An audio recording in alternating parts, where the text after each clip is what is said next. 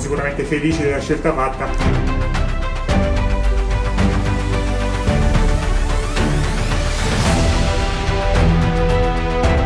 Caterina De Marinis. Pierpaolo Murgioni